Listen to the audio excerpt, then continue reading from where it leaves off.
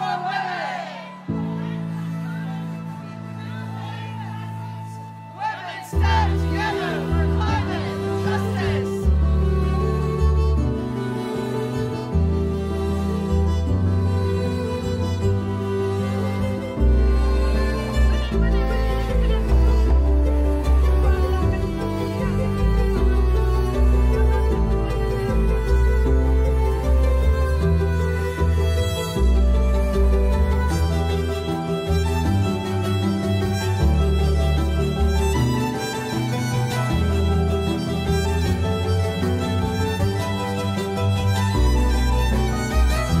to reconcile our economic objectives, looking out particularly for people who are living at or beneath the poverty line, uh, with these uh, climate objectives, but bearing in mind that climate change is going to destroy so many livelihoods. So the case for emissions reduction is an economic case. It is a case actually about justice as well and trying to protect as many livelihoods as we can.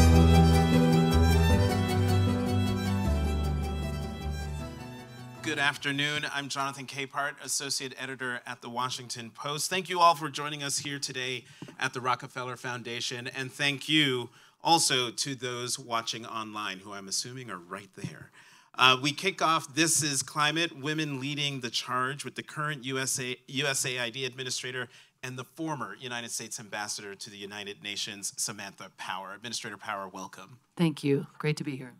Um, let's start big picture how and in what ways are women disproportionately impacted by climate change?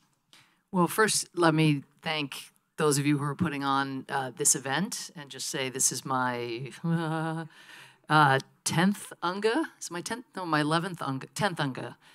Um, and uh, this is the first time I've been at an event like this, which is just taking head on um, a major source of many problems and a major necessity in terms of solutions. So I'd say first, women are, as all marginalized persons, all vulnerable populations tend to be disproportionately affected by climate change. We see it in um, minority communities uh, in this country over and over again. We see it all around the world uh, playing out. Um, if you look at actual casualty rates or death rates in natural national natural emergencies, you see women and children bearing the brunt. Um, and you might think, oh, well, that's a biological difference, and maybe they can't outrun the uh, tidal waves or whatever. But it's as much about gender norms and be, feeling like you need permission in order to know whether you can leave and being trapped in homes. Um, it's uh, you know, in general, just actually being responsible for so much in terms of the family's welfare um, and you know not being in a position uh, again to put one's own well welfare uh, very prominently.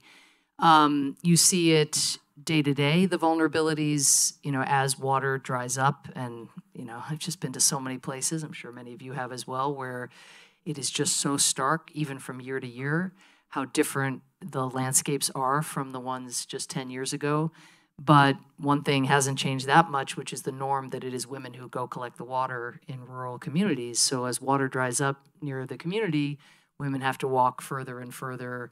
Uh, and that's, of course, been a uh, terrible um, means by which, or, or route by which, uh, women have been continually subjected to gender based violence en route. So the further you go, the less protection you have, the more that those other norms that don't on their face seem to have that much to do with climate change per se, a norm that indicates it's okay to uh, assault or, or attack a, a, a, woman, that norm then intersects and thus you know means a disparate impact again on, on, on women in that sector as well. So where, where in the world are these issues most acute? Well, it's hard to choose. I, I've, I'll give you just a little bit of a brief tour of my recent horizon or whatever the backward version of a horizon is you know over the last year uh, i traveled to pakistan when a third of the country was underwater because of a combination of unprecedented rains and melting glaciers colliding at once and inadequate preparation and infrastructure um, and again it's women often the last to stay uh, to protect uh, property or to protect uh, livestock as men go in search of help. I mean, everybody's um, affected in terrible ways. Traveling from there then uh, to northern Kenya and to Somalia to see five straight failed rainy seasons. So the complete opposite of what I had seen in Pakistan, which is just parched land. Um, millions of live, livestock uh, died uh, of the drought uh, in the Horn of Africa. Uh, you might think, well, the main effect will be on the pastoralists, which, of course, the people who raise the raise the the uh, the livestock. And sure, you actually saw a big spike in suicides of these men because they, for millennia, had been raising animals, and suddenly their entire herds of goats or camels wipe, wiped out just like that. Um, but when it comes to managing the effects on families and the severe acute malnutrition that young people were left with, particularly kids under five, it was women who had to both deal with despondent husbands, deal with the question of what becomes of sons who had imagined that lifestyle continuing and now had suddenly thinking, how do I possibly give them an alternative life, an alternative vocation? Um, but then also, you know, being in a position to to try to find food for for the youngest. So, I mean, again, it hits in different places. I was just last one I offer you was just in Fiji, and of course, for all the Pacific Islands, it's uh, or almost all of them, it's an existential threat. It's about whole nationalities having to figure out in some number of years ahead where they move to, what they do, like if they can't live in the in the the parts of the country and the or in the, the particular islands that are so uh, low low lying, and um, just small examples with where women out there growing industry in this instance met with a women a group of women who were growing sea grapes. Uh, which are, by the way, are delicious. I'd never had sea grapes before, um, and they were so proud of their sea grapes. And you know, USAID is trying to support them, get a micro uh, loan so that they can build their business, grow their business. But just incidentally, and this is where you know climate change just comes up at every turn. They say, well, the only problem these days is we now have to take our boats further and further out because as the ocean warms, it warms particularly close to the shore. So we have to go further. So we go further to get our sea grapes. That means much longer away from all the other obligations we have as women in the household. Moreover, we use fuel powered boats so we're putting more emissions out into the air as we go and try to retrieve these sea grapes in order to grow our businesses.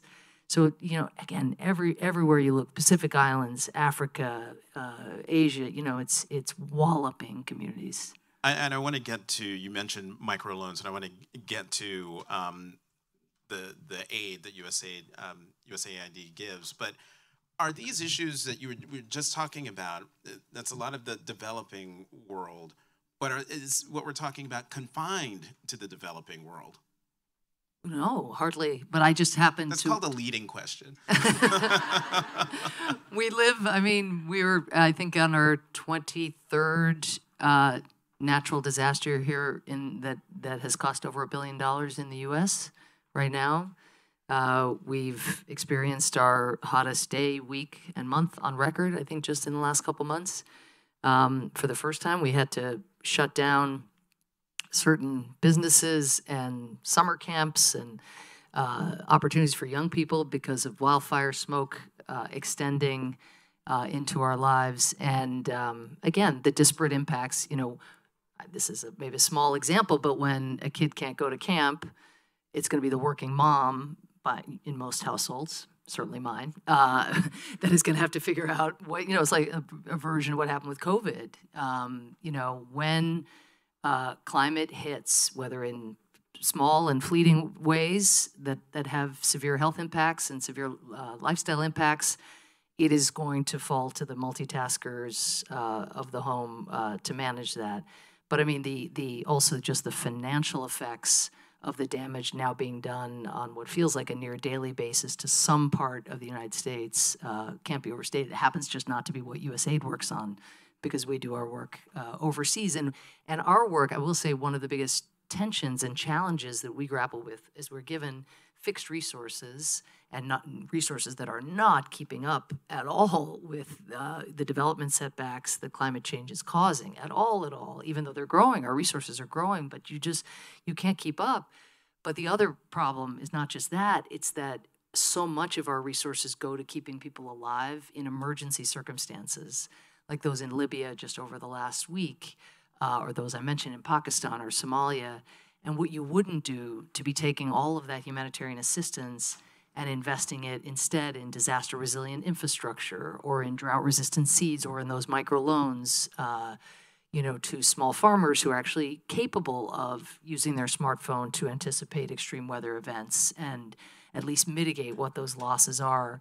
So that what I've described is kind of the difference between resilience uh, and emergency, you know, relief, and and we are very weighted as a as a government and as a donor community writ large toward I mean, it's it's a it's a beautiful thing. It's a beautiful privilege to try to help people get through the worst moments of their lives, but uh, in doing it that way, which is quite stopgap, you know that you're going to be back at it, and and that is you know extra heartbreaking because it used to say we'd say climate shock, but now it's kind of like is it a shock when it is a predictable feature of um, you know a particular part of a country's um, farming life. Um, and, and so, what does that require of us? If the pie were bigger, we would dramatically increase our investments in resilience, which is what we should be doing.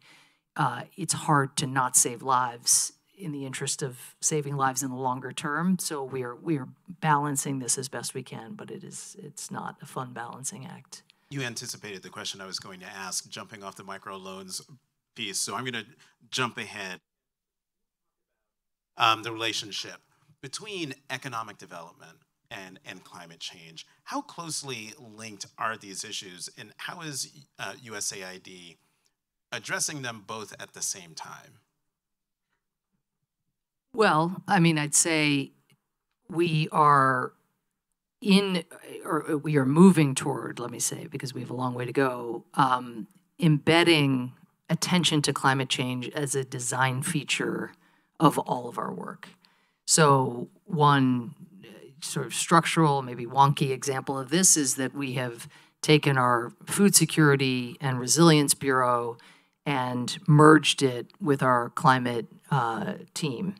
And, and so that is where, but the nexus there is quite obvious to people. It's not a perfect overlap, but, but there's tons to be. Agriculture is a major source of emissions, so uh, those emissions need to come down.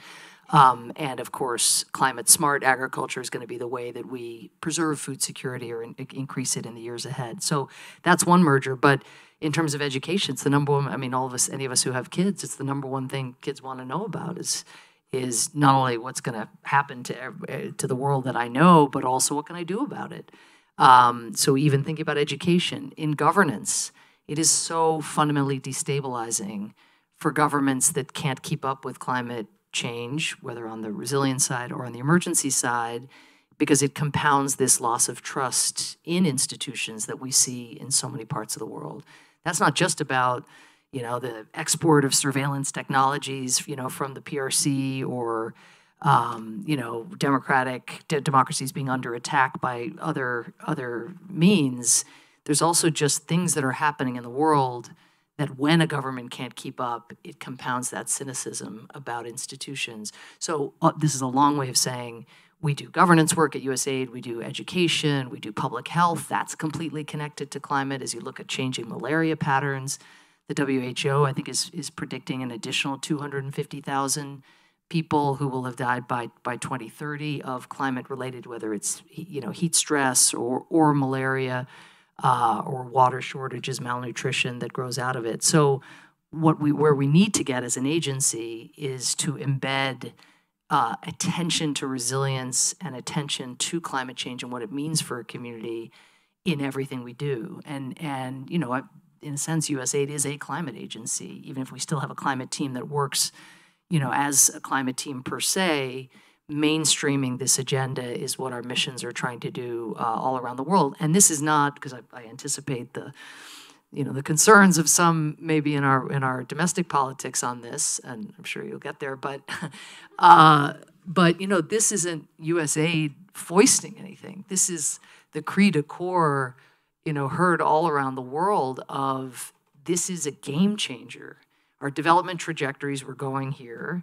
COVID hit and now we have what could feel like a COVID like, not not of the same scale, but battering again and again and again. So just as we're now thinking differently about pandemic prevention, what should that lead us to think about when it when it comes to embedding climate in the mindset of all public spending and and all notions of mobiliz- mobilizing private capital because that's of course going to be a big part of the solution. So we're that's it's this mainstreaming and not having climate live over here but given that it is this game changer and given the that it's the our host countries and the communities in which we work and have worked since John F. Kennedy pleading you know give us more of the tools to adapt to this shell shocking phenomenon well I asked the question about economic development because you know with economic development comes you know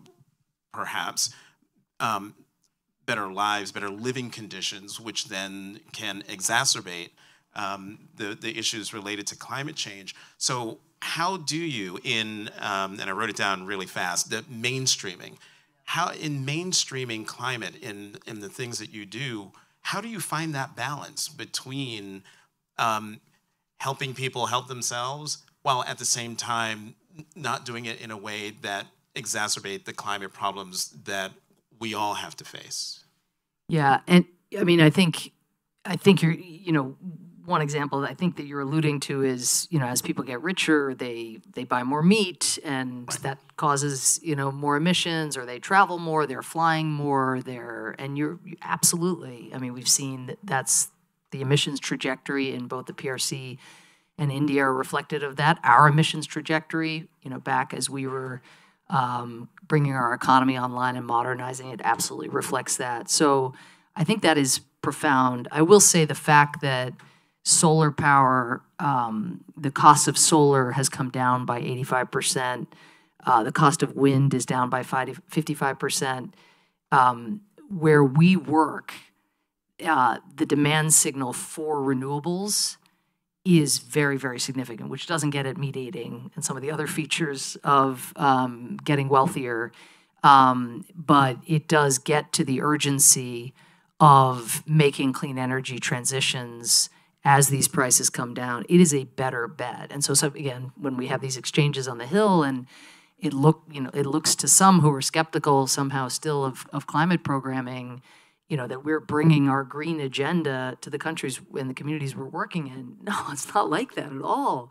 They're saying we can't afford this other thing you know but actually we can pop up a solar panel and have a, a water pump that we've been trying to get in this village. We can go off grid in ways we we never the state's not going to get here anytime soon. This was my experience out in uh, Bekaa Valley in, in Lebanon where USAID worked to to you know build a um, a bunch of solar panels that powered electricity and, and, and ended up actually reducing tension between refugees who were being generously sheltered by Lebanese host communities, Syrian refugees, and the Lebanese because they were no longer fighting over water because they had water because they had solar.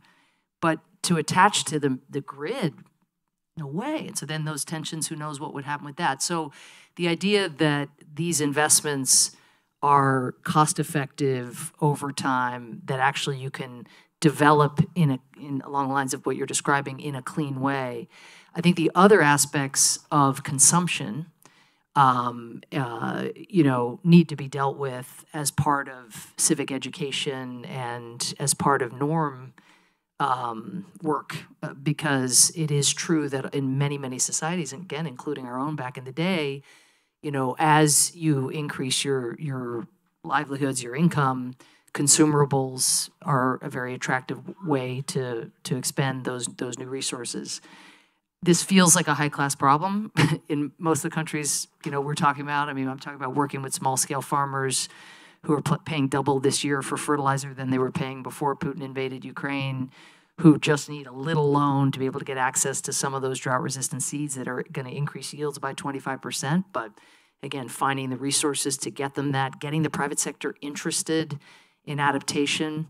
Um, but you know, no question that we should be thinking now about you know if we can be successful, if we can help them withstand the negative effects of climate change, and like here in America, grow jobs out of also uh, these changes uh, to their economies. then what? Then we will be grappling with the kinds of things that have further fueled emissions in, in more recently developed countries. As you've alluded to many times, there's a lot of good news related to um, development of clean energy alternatives. That being said, though, global emissions once again hit a record high in 2022. Carbon dioxide in the atmosphere has risen to levels not seen in millions of years. Uh, are we moving in the wrong direction despite glimmers of hope? Well, I mean, I think all of us um, can answer that question in two ways. and we talk to ourselves all day, you know, on the one hand this and on the other hand that. Um, but what, what we can say is we're certainly not moving fast enough. And, you know, what breaks my heart is you, it's a little bit like another version of the vicious cycle you were kind of describing. But when you see the, the wildfires and the rate of wildfires, and then all of the carbon emitted and all of the good that had been done with carbon emission reductions, and that being not washed away, whatever, you know, uh, smoked away, burned away. Um, that's heartbreaking because these investments were, are accreting, they are building momentum. So I think that, and that's not the only thing that's heartbreaking. There's so much that's happening day to day, and and a little bit of the despondency I think setting in as well as people just open the newspaper and um, whether it's in their own community or one further afield or even something like what happened in Libya, which just captures the imagination of, uh, which was its own sui generis issue with regard to governance and infrastructure, but was would not have happened that way but for the intensity of Storm Daniel, which is which is just being seen in so many communities. Um, but what I what I do think it's important to come back to, at least as proof of concept, is that uh, at in Paris, the projections they were we we the world were on a track to warm four degrees, and we are now on a track to warm 2.5 degrees. So that is a reflection of the agency that people have claimed over this trajectory. The problem is we need to curb warming at 1.5 degrees. But in that delta from 4 to 2.5 uh, should give people at least uh, you know a sense that actually collectively we are doing things that are making a difference. There's no doubt we are doing things that are making a difference. Um, if I could, though, I think the area that we we have the I mean, as, as John Kerry likes to say, you know, if we don't get mitigation right and the carbon reductions right, um, there'll be no planet to adapt. Um, he, he makes a comment like that a lot. We, we, at USAID are in the mitigation and the adaptation business, as as is Secretary Kerry and his team. But I, I think in mitigation, what's what I think gives one hope is just how much the private sector has leapt now, recognizing that there's money to be made. And and you know, I'd love to rely on people's good intentions and their feeling of fellow humanity, but it's much more reliable to if they think there's money to be made. And that shift has occurred, and you see it on the IRA, which is already defying even the the best projections and and extrapolations that people did. I mean, this is going to have way more collateral uh, effects and and bring down carbon way more, I think, than than people could have just strictly speaking anticipated because of a cascade now of private sector interest fueled and catalyzed uh, by the underlying uh, legislation. And so, too, as the prices come down, again, there's virtuous cycles there. Adaptation, we're not we're not there and I don't know if we're 10 years behind where we were on on mitigation, you know, where we are on mitigation. Like, is the same thing going to happen in 10 years where we look back and say, oh, we lost all that time?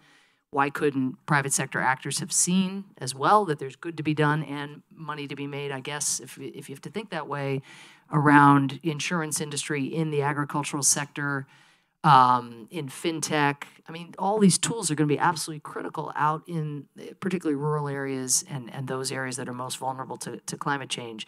But about 2% of funding to adaptation comes from the private sector right now.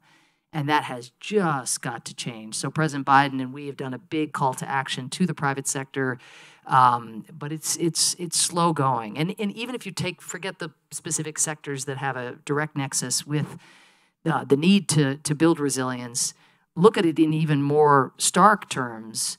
The market share that so many companies are hoping to capture are themselves going to have less money to spend, maybe in flight, maybe at war. Um, you know, and so the positive of that is, hey, if we can help them adapt and and be more resilient and where these uh, emergencies happen, but uh, but don't wallop communities in the same way and they bounce back. Uh, that's those are consumers that will be our consumers. But the negative is, what if you know millions, tens of millions of consumers are taken offline? Uh, because they are driven into poverty. The predictions now are 100 million more people driven into extreme poverty by 2030. But that's within our hand. That adaptation, there's so much, as I would say to my kids, there's room to grow.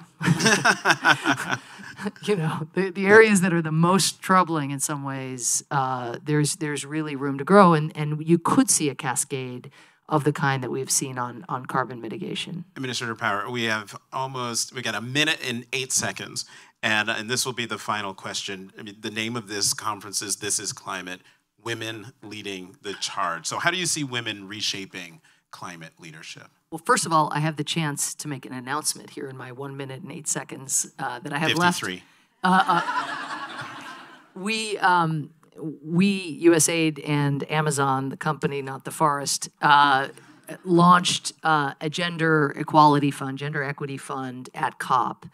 And uh, we launched it with $6 million in funding, and this is for women. It's for uh, projects that will benefit women, it's for projects that are driven by women in adaptation or in mitigation, the whole, or protection of natural ecosystems, but things broadly in the climate space. And uh, today, uh, we have the Visa Foundation and Reckitt's, a, a, company out of the United Kingdom, who have joined us and matched that initial. Oh, USAID put in three million, Amazon put in three million, and and have added uh, six million. Why do I mention this? Not a huge amount of money yet. We're going to get up to 60 million, we hope, uh, in rapid order. This is part of another cascade that we would like to see.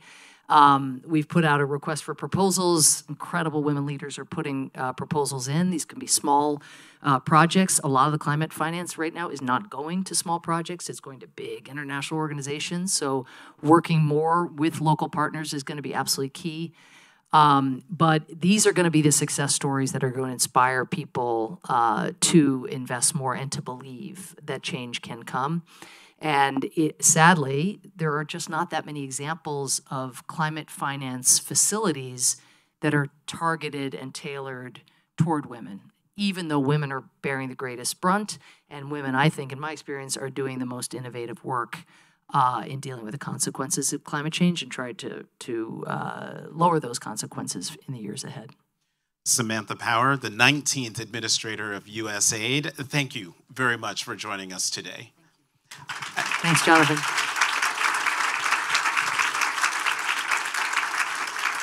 Next up, my colleague Juliette Eilperin, Deputy Climate and Environment Editor for the Washington Post, will be on stage with Salt Lake City Mayor Erin Mendenhall after this video. Stay with us.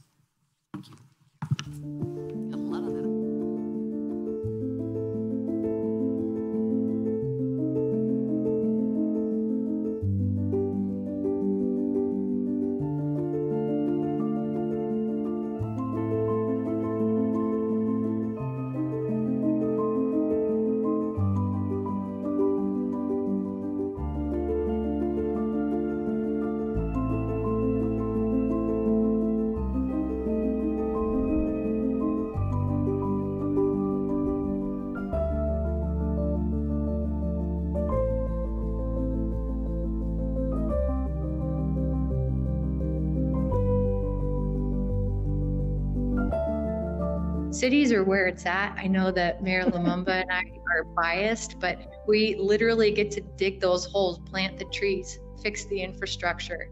We get to ask for the support from our state and our federal partners. But when it comes down to it, the city is where the rubber meets the road.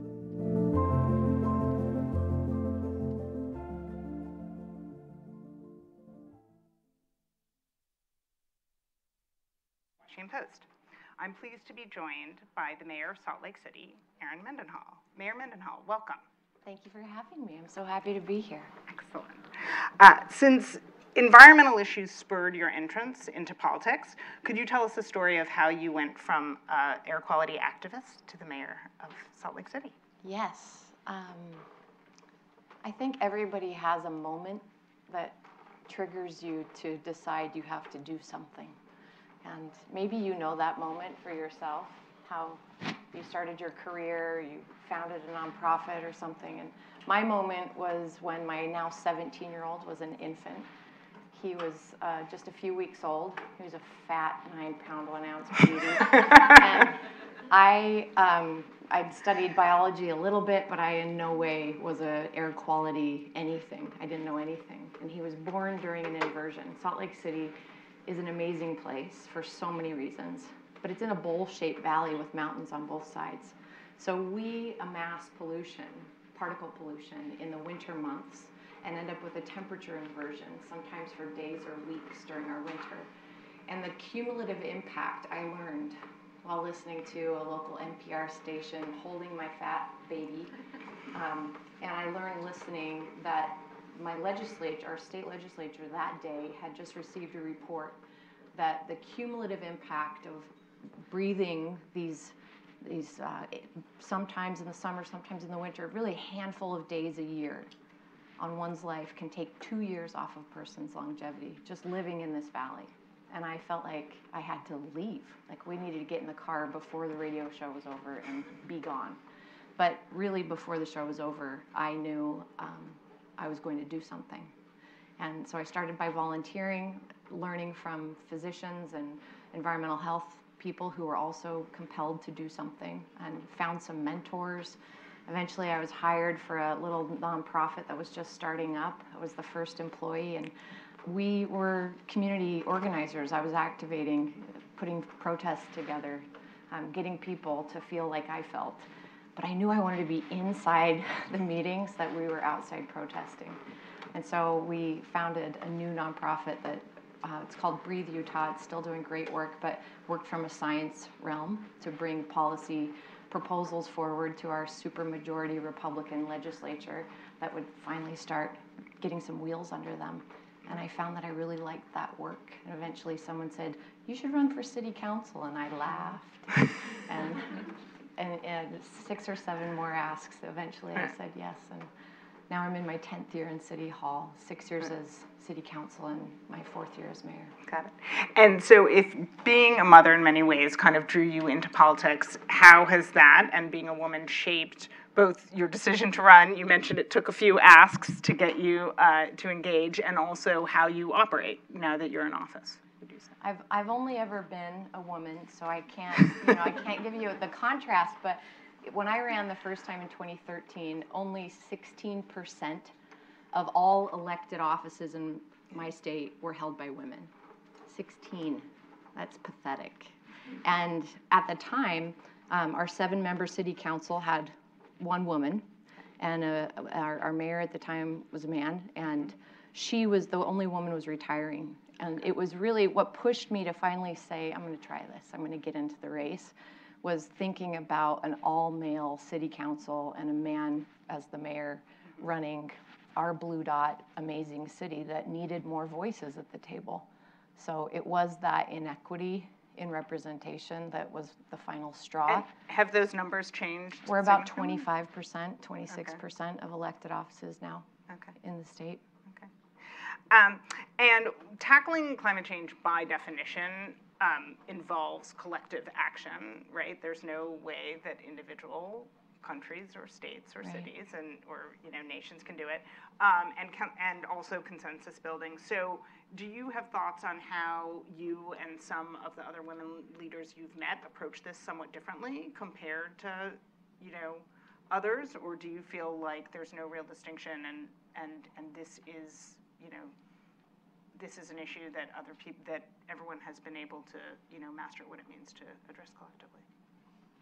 I think that I find myself in rooms with many other women or mostly other women around most of the uh, the great challenges that we're facing globally, but at a community level as well. I'm talking about the environmental injustice that's on the west side of Salt Lake City, our formerly redlined neighborhoods that are dealing with you know absentee issues at our public schools. They're dealing with lack of access to fresh food. We have uh, resident food organizers in our community, mostly women showing up there. Transit access, you know, I-15 expansion proposal that UDOT is looking at right now. A lot of women show up, and why that is, um, I only know for myself. Mm-hmm. But uh, certainly we have allies, and it's not always only the women. Um, but I think that telling your story and the vulnerability of that personal reason, your own tipping point that, that I told you at the beginning, isn't a gendered experience to tell. Um, you know, men and women can tell their stories alike, but I think that there's something compelling about the authenticity and the invitation um, and I see women doing that in both the reason they're engaged, but also the inspiration to keep going on an issue that can be as exhausting and frustrating as climate change. Why are we still in this? Why are we showing up? Because there's tremendous hope. And because there's a bunch of kick ass women that you have on this panel today who are doing amazing work. And um, I think that that authenticity of working together, of being excited, of showing the hope that there is, and the reason that we keep doing it is something I see women doing more often than men, um, which I'd love to see that change. And um, Salt Lake City is booming, obviously, and I'm curious if you could both talk about why it's attracting kind of the investment and the mm-hmm. jobs that we've seen in recent years, and also what are the challenges, the, both the opportunities and the challenges that it presents when you're committed to conservation and environmental goals like, like yourself? Yeah, Utah is the fastest growing state in the nation, about 18.4% growth, um, 2010 to 2020 census, and we've continued with that growth. Salt Lake City has grown quite a bit. We hovered around 180,000 residents in our little 110 square miles um, for decades and we've added about 20,000 residents in the last two decades. And interestingly enough, we've decreased our water consumption by more than 20% over that course of time. So the way that we're growing is, I think, something that other cities around the state of Utah who are also experiencing growth challenges are interested in because the costs associated, the livability of that, um, not only the environmental reasons, but the day-to-day quality of life. And our growth is very focused from a city aspect on um, the ways that we can leverage the private market to give us more of the solutions that we need. Housing costs are very difficult in Salt Lake City. Um, they've been escalating. Homelessness is a challenge that we see in capital cities, medium-sized cities across the country. We're experiencing that as well and the threats of the Great Salt Lake and its shrinkage and the dust toxicity um, and the way the wind blows is right into Salt Lake City. So these are challenges that we can address at the local level with things like land use, low interest rate loans that we give, and we will not loan any longer for new buildings unless they are all electric and they are climate friendly. So we need those kind of technologies, but of course we can't control the, bu- the building codes that's set by our state legislature. Oh, so we have to put our money on the table or change the land use codes uh, to get the solutions that we need. And the businesses are showing up. Uh-huh. It's happening. Is there any real prospect building codes, obviously, which is super wonky but has significant implications for energy use, for climate? Is there any prospect of that changing in the near future, or is there just not enough support in the legislature for that? There has been some incremental change, and just the way that we've been able to improve our air quality is the way that the building codes will also change, which is that the business case becomes very clear. Um, the technologies become actually more affordable than the traditional way of building.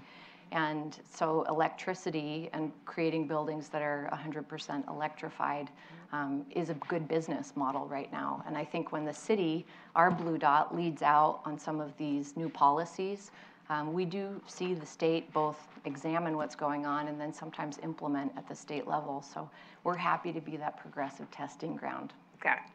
And so let's talk about the Great Salt Lake, which um, first hit a record low in the summer of 2021. Um, and there was a story just today, right, in the Tribune saying that the record snowpack was a temporary re- reprieve, but basically for a couple years.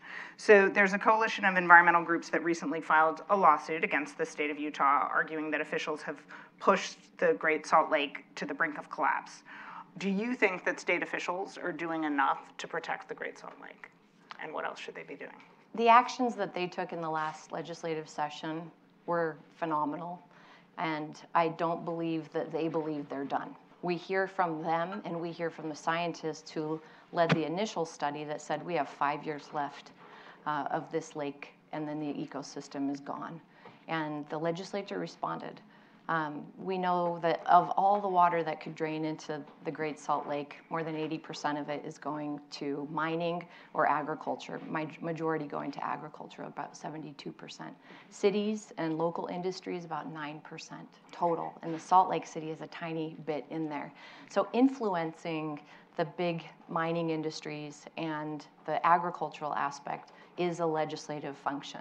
I don't, I know there's been a lot of attention on Salt Lake City. It is our namesake. Yes. Uh, But, and we have been doing some pretty uh, aggressive policies, rate increases. Um, But to have farmers pass on that water, not grow their crops and not lose their water rights, but be able to receive some funding from the state is new and empowered by a $40 million trust they put together we need this action to continue, and the reporting that you mentioned today is uh, based on the work of these same scientists that the legislature has been listening to. So what they suggest, we've seen it come to fruition in the legislative session, and we hope to see more of that in January. Okay. And then part of what you, you mentioned earlier is this idea that toxic chemicals, including arsenic, lead, and mercury that are right now trapped in the lake bed, as it becomes, as the lake bed becomes more exposed, um, these chemicals are carried into the air and create toxic dust storms. Um, so in terms of, you, you've talked about how Salt Lake has obviously taken some precaution, some steps to kind of reduce its water consumption. Is there anything that the city can do in terms of restoring it that you feel like is action that's important for Salt Lake City to do at this point?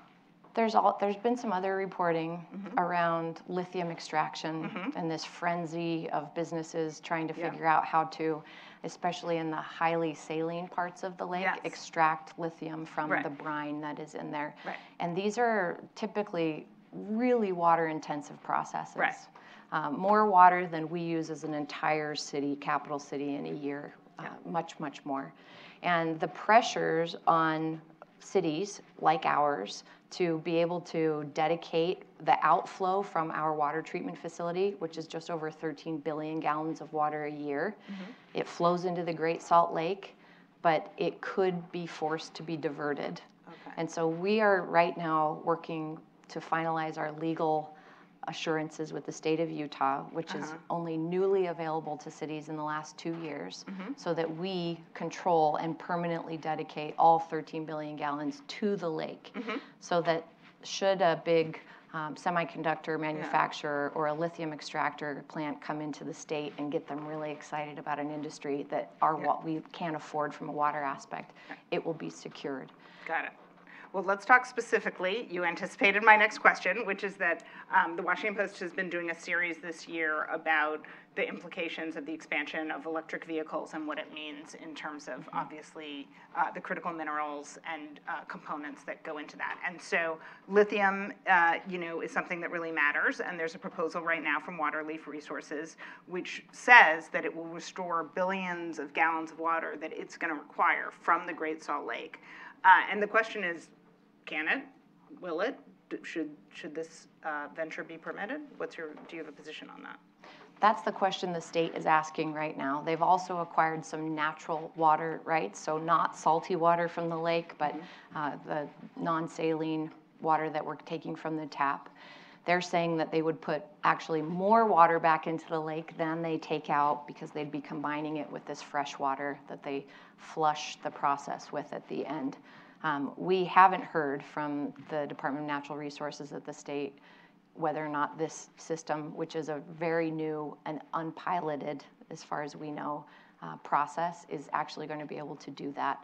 So I'm grateful that the state is taking a skeptical look at an unvetted process that wants many billions of gallons of water out of the lake, many times more than our entire city uses.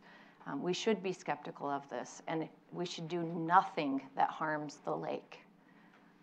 Every economy, not just mineral extraction, every part of our city, the entire ski industry, everything would be affected if we lose the lake.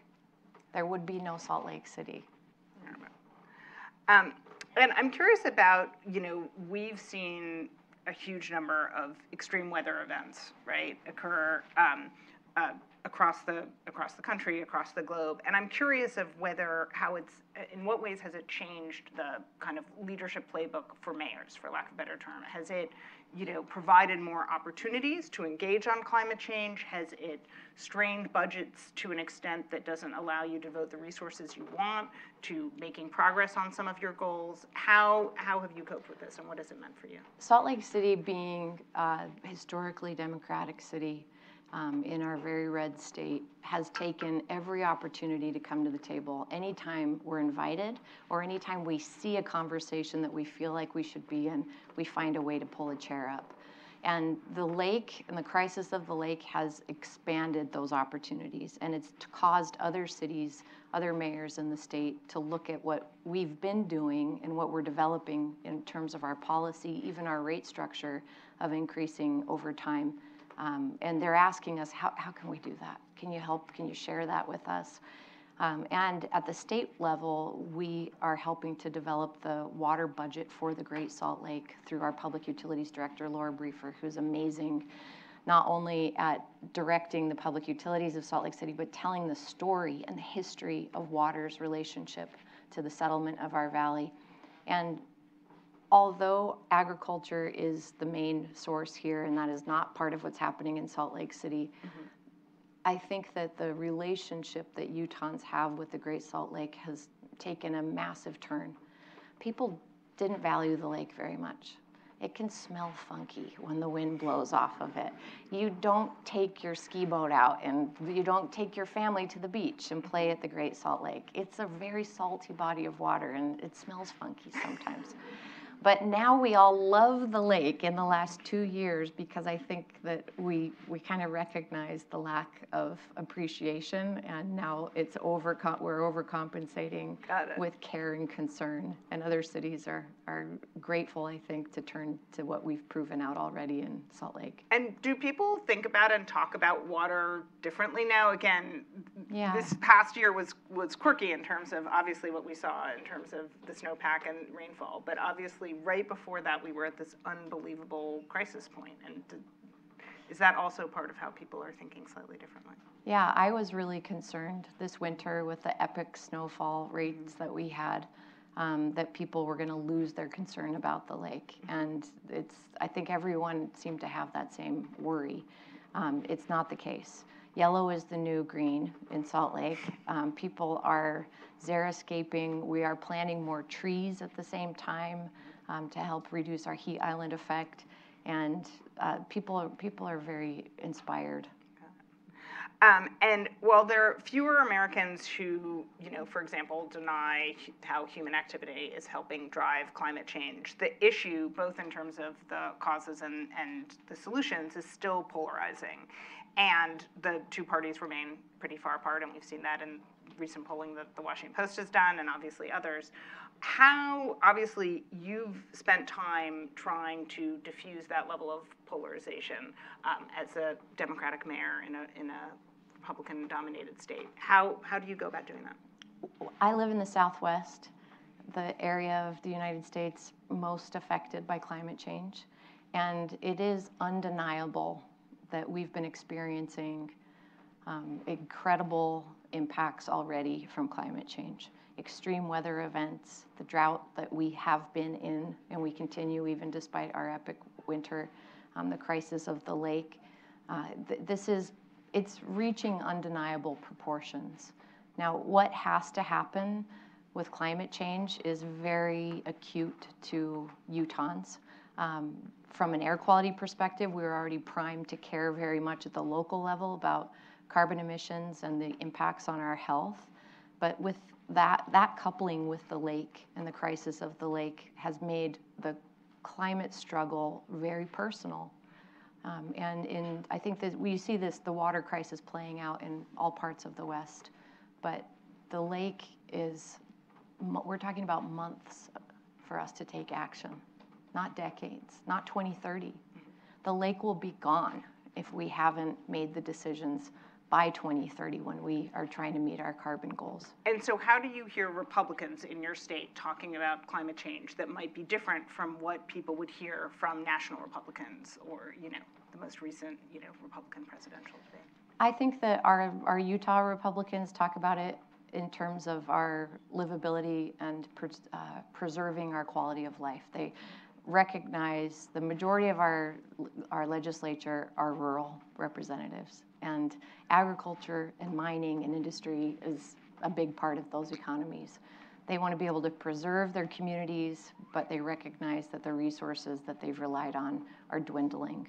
And um, th- this isn't about climate change. You don't hear a lot of Utah Republicans talking about climate change. They'll talk about the Great Salt Lake and the water crisis. And you know, if in the end the actions that we take to save our lake are ca- characterized as, as local um, and have nothing to do with climate change from the rhetoric coming out of the legislature, I'm okay with that. We still have to take the action. Excellent. Well, thank you. This has been fascinating. Mayor Mendenhall, we will be watching to see what happens in Salt Lake City and in Utah. Thanks so much for joining us here today. Thanks for having me, Julia.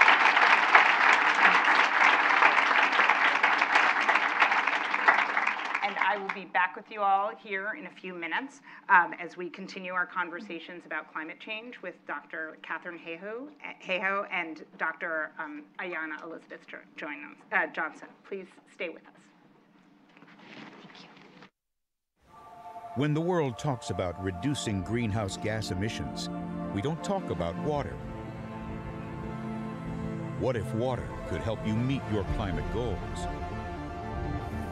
Change business operations and influence industries, help our planet. Can water do all that? Find out when you partner with Ecolab. Ecolab Water for Climate, transforming the way the world thinks about water.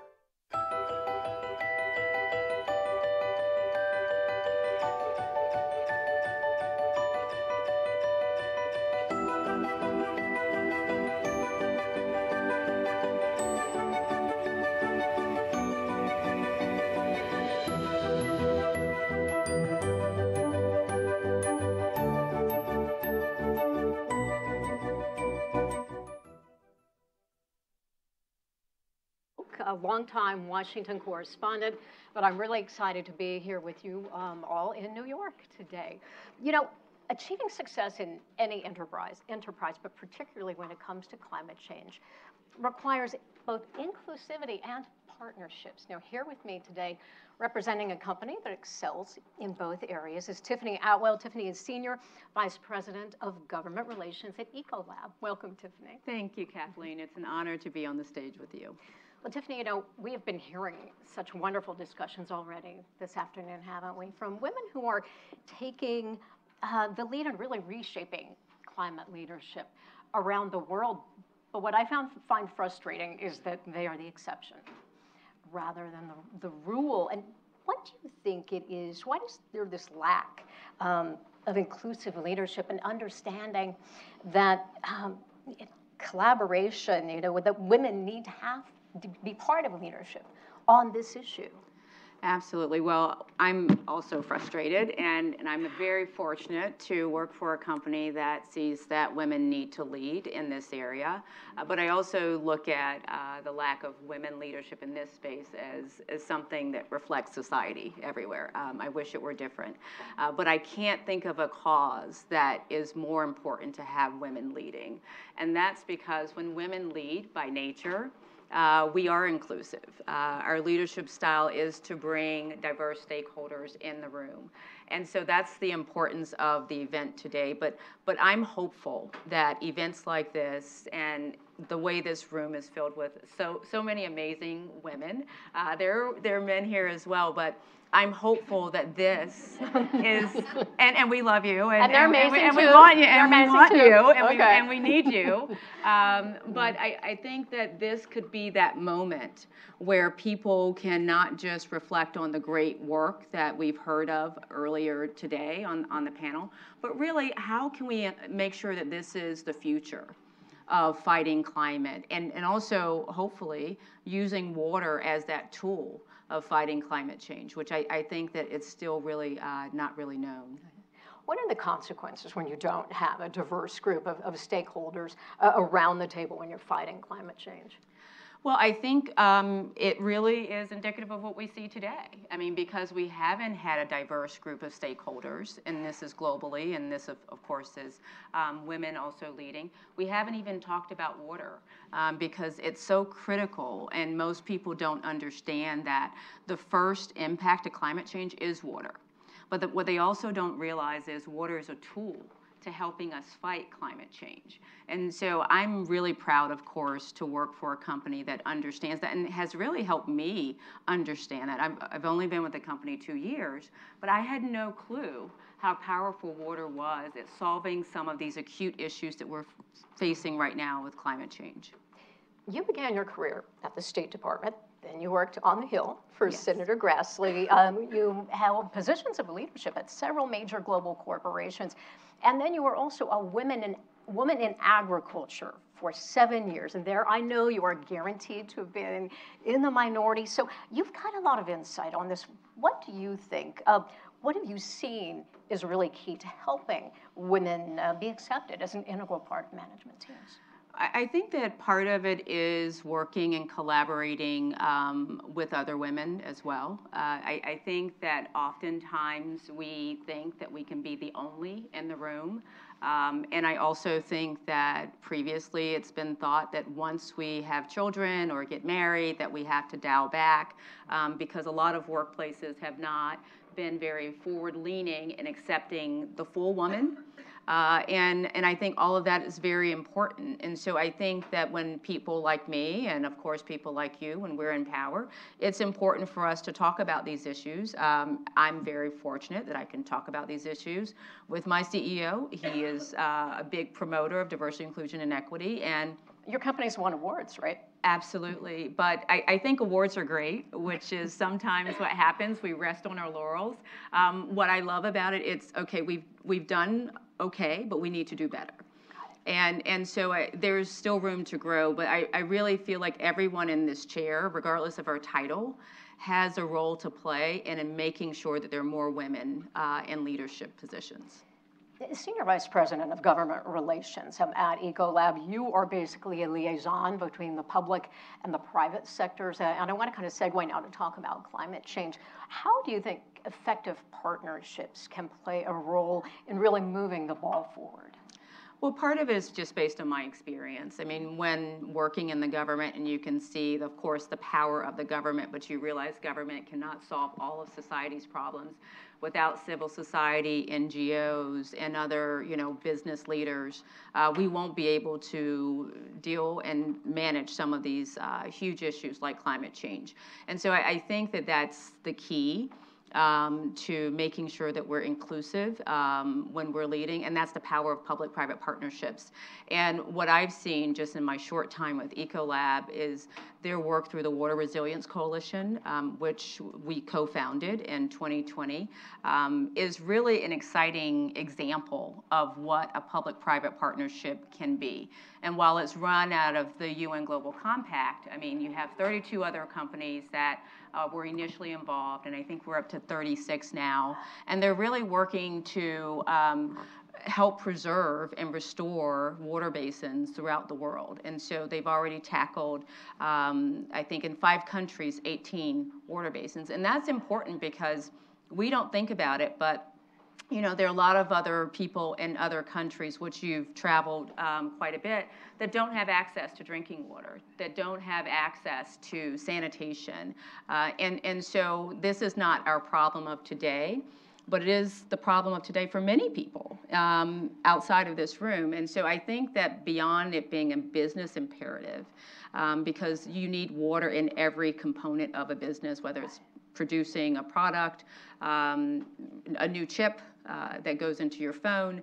While we don't realize that, um, there are so many aspects that are uh, diverse stakeholders are involved, that this is why we need that inclusivity, this is why we need diverse thought in solving these uh, types of problems. Following through on, on pledges, we all know is vital to reaching net zero.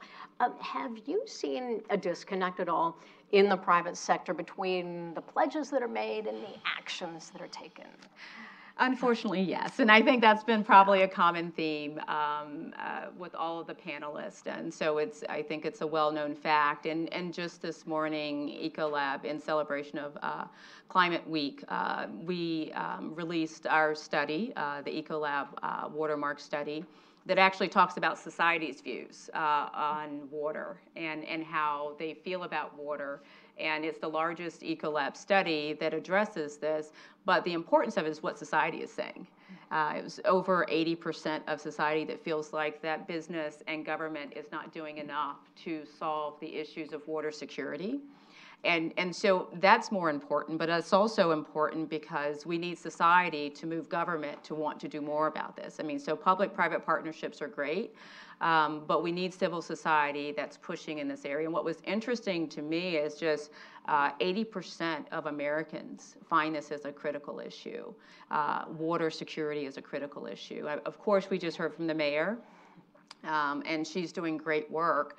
Um, but it's it's not just in Salt Lake uh, City that's um, this is an issue. It really is nationwide. Yeah, absolutely throughout the United States moving the needle on climate change obviously requires working together, uh, people taking actions and collaborating in ways they may never have before in the past. Can you give us some effective partnerships or collaborations that you have seen that could be role models for other corporations? Well, I do think that it, it's maybe a little bit easier for us because we understand that if our clients are successful, we, we look at that's our success. But I think that's a model not just for us, but also even maybe for governments when they're looking at these types of issues. Uh, I would say when I think about like the Inflation Reduction Act, I mean, regardless of your views of it, it is a view of trying to push the private sector into building the green economy to deal with some of these climate issues. And actually, water is a part of uh, that as a tool. And so I, I, think that that is one example, but I think the other example is um, really creative investment mechanisms. And so if you think about that woman in India who doesn't have access to um, water or she doesn't have access to sanitation. And there are now creative investment tools that can offer microfinance loans uh, to women. And from what I understand, there's a 94% payback rate of, of the loans. And so it's, it sounds like it's something that's just based on uplifting civil society Um, but you also increase an employer's and employees' productivity if you don't have to go and, and walk miles to get clean drinking water. Uh, and also it's security and safety for women because oftentimes what will happen in some countries where women are not created, you know, or thought of as equal, is that there are rapes and other horrible things that happen to women when they go out to an outhouse or some other place where they don't have an in-house bathroom. So I think that it impacts all of us, even if it's not in our backyard. Sure. And, and then water just is so central to improving health Absolutely. globally when so many people do not have access to, to clean water. I mean, well, we know even here in the United States, Absolutely. Jackson, Mississippi, we have communities Absolutely, in Flint, this. Michigan, mm-hmm. absolutely. And I, we live in Washington, D.C. Some people say even in Washington, D.C., you know, we should be concerned. But I think the other um, aspect that I think about is when we think about um, EVs and we think about chips all of those are water intensive industries. And so we don't think about those are really um, sustainable. That's a sustainable future for us, but we actually have to be sustainable in when we're trying to manufacture those products. But that's what you do, right? Absolutely. You help them, right? Well, that's the exciting part of our partnership, and it's really cool to be able to do that. As we begin to wrap, is there anything else you think that businesses should keep in mind when, when building partnerships uh, to tackle the climate crisis? I think uh, being diverse in the stakeholders that you talk to, um, understanding that you don't have to have all of the answers, and that's one of the other beauties of having women lead. Um, we're very open to listening and, and not always needing to have all of the answers. And these are issues that affect so many stakeholders that have the right to have a seat at the table. And I think that from what I've learned from not just the speakers today, but some of the other speakers and other panels, uh, there are a lot of solutions that are already readily available. It's just scaling them and it's, it's just making sure that people are aware of them. And so hopefully that this can open up people's eyes that it doesn't have to be just viewed as a green tax to be sustainable. It can make your business more effective um, and, and a greater value proposition. And from the you know Ecolab Watermark study, it can even help you with your customers because that customer sentiment, um, they care now more than ever how you're manufacturing your products. Um, I would like to sort of close with a, with a story from the heart from you because I know you came to Ecolab from all these fabulous other companies where you've worked, and again, uh, being part of the federal government as well, and serving even around the world in Africa. I know you have. Why um, Ecolab? Why is their cause and what they do so important uh, to, to you, to the world? Help us understand that. Well, I, I think that for me, we all have a choice, right? I feel like everyone in this audience has a superpower. Um, and it's really about tapping into that and working with people that can help your dreams come true. And I found that in Ecolab. They want to do good while actually making money. And I know that sounds blasphemous or maybe bad to some people, but I think that that's the only way that we can tackle climate change is we actually have a model that goes beyond philanthropy, but instead is something uh, sustainable. Uh, and so that is my view. It's like that that happy marriage of all of my experiences, um, because I love my public service, but to be able to join a company that really wants to do great stuff for the world, um, it's inspiring to me. And my T-shirt says, "Do more of what you love."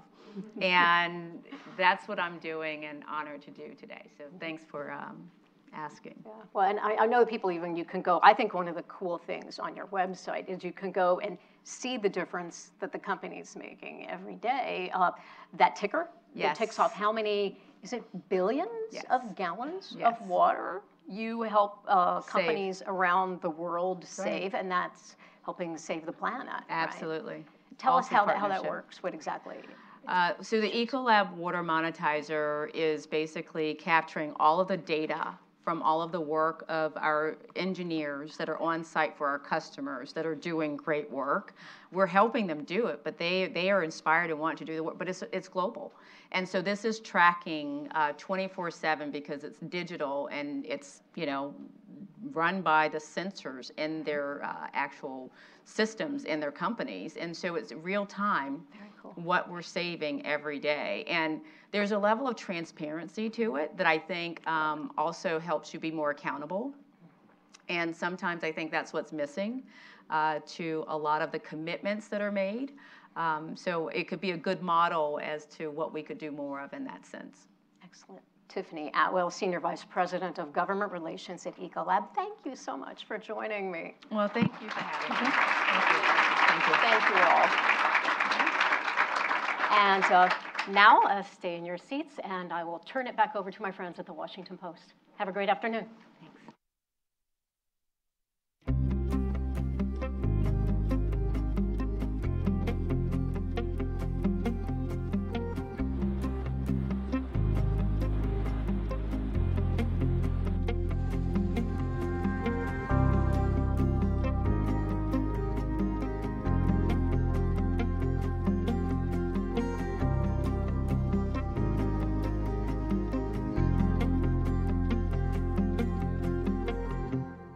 We need to eliminate greenhouse gas emissions from electricity, transportation, agriculture, industry, and buildings. We need to protect and restore ecosystems. We need to change society, policy, economy, and culture. This is about transformation.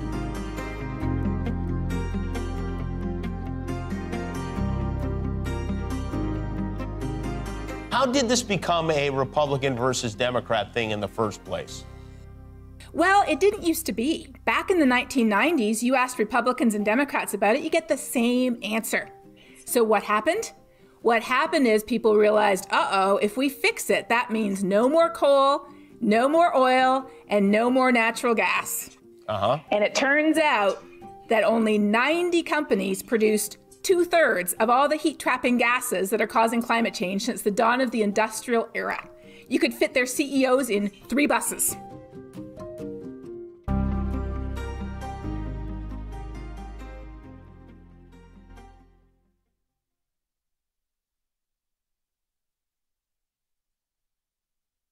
Talking with atmospheric scientist, Dr. Katharine Hayhoe, and marine biologist, Dr. Ayana Elizabeth Johnson. Welcome to you both. Thanks for having us. Thank you. This summer, as we were just saying, has been marked by extreme heat, fires, floods, storms across the globe, and it obviously seems like an inflection point to many.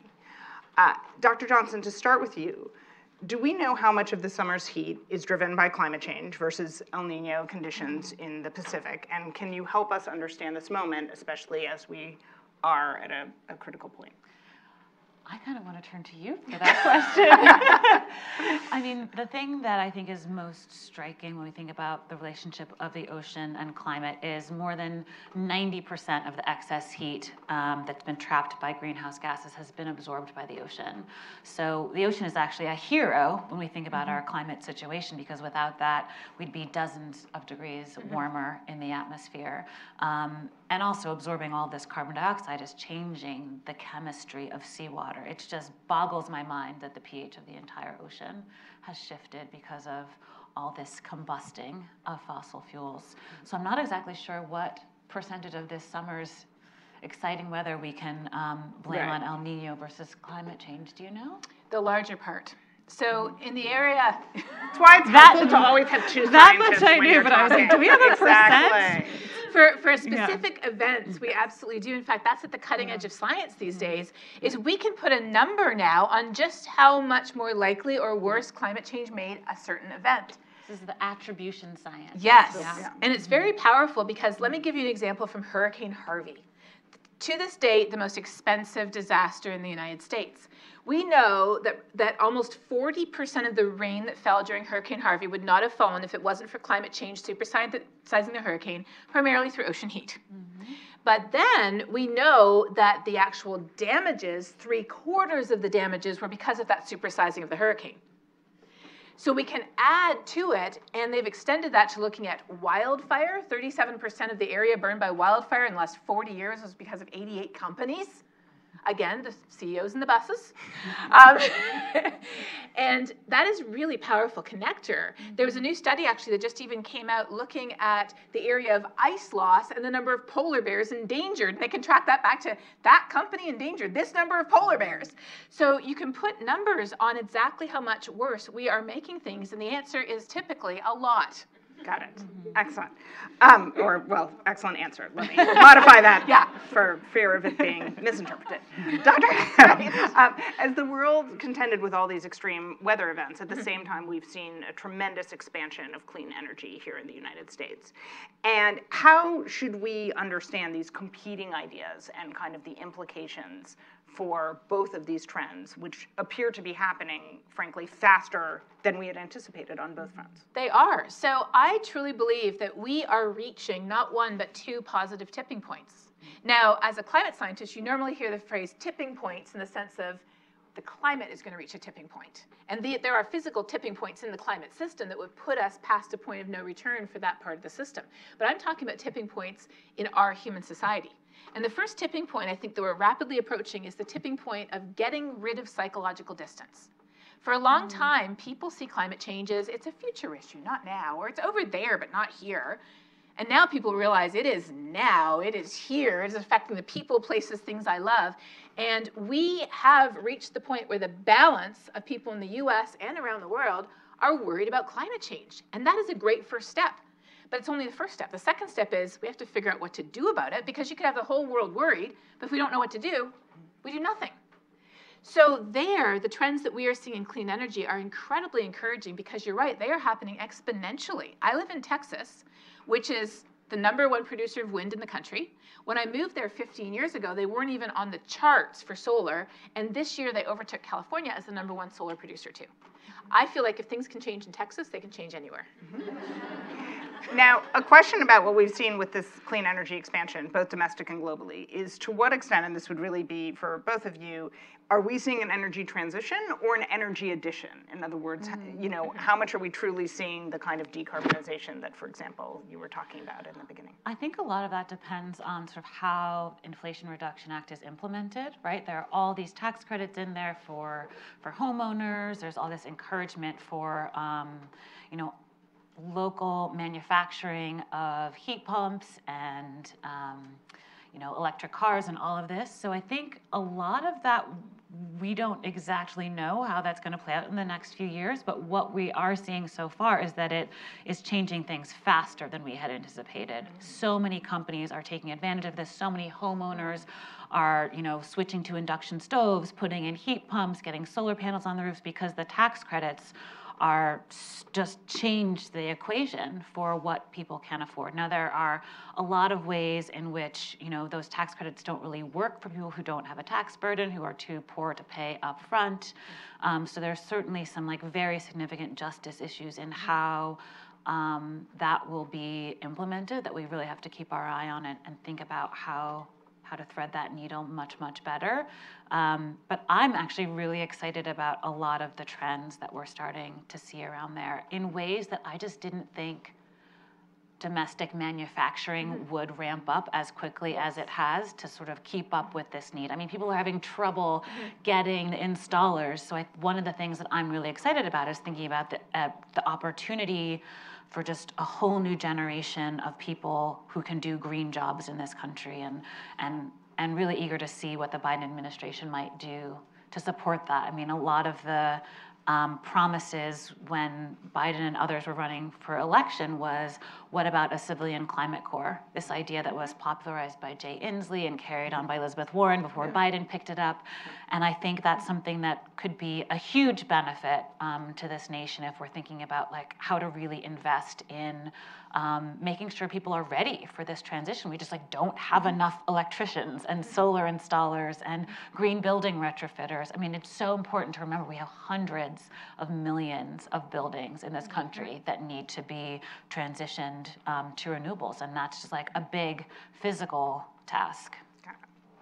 Okay, we're now going to discuss an, uh, an issue that matters, I know, to both of us, Dr. Johnson, which is that the ocean covers, you know, about 70% of the Earth's surface, yet it's often missing from Mhm. conversations about climate change. Why do you think that is? And, and, and if you had to convey why the ocean should be more central to the climate conversation, how would you do that? The ocean is a huge part of our climate system. I mean, when we think about the way that heat moves around the planet, a lot of it is in the ocean, a lot of it is absorbed by the ocean. Major ocean currents are moving heat around the planet. If we think about, um, you know, why Europe isn't frozen, um, I think a lot of the times we think about the ocean as a source of the climate problem or the risk or threats. We think about sea level rise. We maybe think about hurricanes. Maybe we understand that they are strengthened as the waters are warming, making them, you know, stronger and wetter, more dangerous. Um, but I don't think people think enough about the ocean as a source of climate solutions. So if we think about um, how all these things add up, we think about coastal ecosystems that are absorbing all this carbon and buffering us from the impact of storms, all of those wetlands, mangroves, um, seagrasses, coral reefs, those are really important natural protection from storm surge and hurricanes. Um, we think about offshore renewable energy. Right now, primarily that's wind, but there's capacity, potential for a lot of other different varieties of that.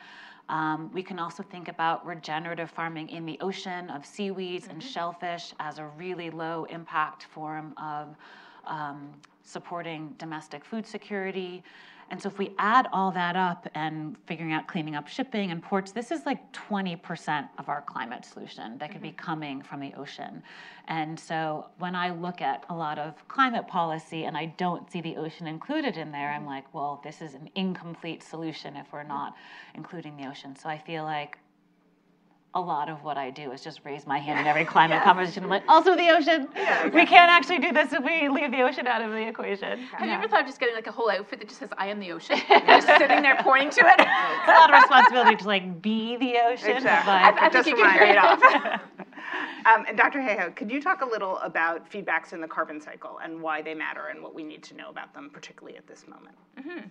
Well, feedbacks in the climate system as a whole. Um, we have, as far back as we can go in the history of this planet, and paleoclimate science goes back hundreds, hundreds of thousands, millions of years, we have never pushed the planet this far, this fast. The closest analog to what's happening today was 55 million years ago, when clearly we did not have 8 billion people on the planet and $50 trillion worth of infrastructure. And at that point, according to our best estimates, the amount of carbon going into the atmosphere on an annual basis back at the time of extremely rapid warming, the fastest we've ever seen, was a tenth of what we're putting into the atmosphere today. So this is an unprecedented experiment we're conducting with the only home we have. And when people say, well, what do we have to do to save the planet? I'm like, the planet is going to be orbiting the sun long after we're gone. Mm-hmm. What do we have to do to save us? And by us, I mean us humans and all the living things that share this planet with us. Because when we go back in the past, times of rapid change have been characterized by a word, and that word is extinctions. Um, Would be great to avoid that this time around. I Yes! think the good news is like we really do have most of the solutions we need. There's a lot of talk about like the need for technological innovation mm-hmm. to address this crisis, but like we really mm-hmm. do have the solutions we need. We have renewable energy. We know how to we know to develop public transit. We know about re- regenerative agriculture. Mm-hmm. We know about how to retrofit buildings. Like we just we know not only what to do but how to do it, and it really is a matter of like how quickly and building the political will and making sure people are trained to actually do the the physical changes that need to happen. And just I think this last summer mm-hmm. um, as Katharine was describing, has like really helped us with this social tipping point mm-hmm. of like people are awake. Mm-hmm. Like the sky in New York was orange because of wildfires in Canada, right? Like we had a hurricane just head to Maine, we had a hurricane just head yeah. towards LA. People are seeing that this is here and now. Um, and I think maybe it's not so much a sense of urgency that's changed, but a sense of like practicality. Mm-hmm. Like, oh, we, we have to actually mm-hmm. deal with this and there are steps that we can mm-hmm. take. And i love I, that's that's the mindset I want everyone to be in that like solution oriented. Okay, who's doing what? Like, let's go. Okay, what's a solution that Dr. Johnson hasn't named that you would say that you think is a critical piece of the Oh, could we just go back and forth on our Yeah. favorite climate Ooh, that solutions? yeah. Just a little. Then we're going to get back into some of the depressing topics, but I feel Composting, like we're going to run with we're going to run with this. You And read my mind because Uh-huh. that was literally what was going through my mind as you were What else? talking. What else? Okay. Okay. So when people say mitigation, yeah, they jump to clean energy. But the cheapest form of energy is what? The energy you don't use. So efficiency in our energy use and our food use, we waste 67% of the energy we produce and half the food. Mm-hmm. There are people going hungry and there's food rotting producing greenhouse gases because we are wasting it. So just recognizing that everything has value. We are just mm-hmm. such a wasteful society and everybody can get on board with what our grandparents taught us, right? Waste not, want not. A pinch, and, you know, a, an, an ounce of prevention is worth a, a pound of cure. Mm-hmm. Stitch in time saves nine. There's all these adages for it. So that's one. And then the other mm-hmm. one is one you alluded to, but I want to call it directly, which is nature. Mm-hmm. So at the Nature Conservancy, our scientists have calculated that putting carbon, you asked about the carbon cycle, putting carbon back in nature where we want it instead of up in the atmosphere where we have too much of it, because carbon is not bad. We are carbon-based life forms. place. It's in the wrong place, yes. Yeah. So moving it around using nature is an incredible climate solution that could account for up to a third of the carbon that we produce every year. But it isn't just about putting the carbon back into soils and ecosystems and fields. It is also, like you said, about restoring coastal wetlands to protect us from storm surge. It's about restoring ecosystems to support biodiversity. It's about climate smart agriculture that is also more climate resilient as well as putting carbon back in the mm-hmm. soil.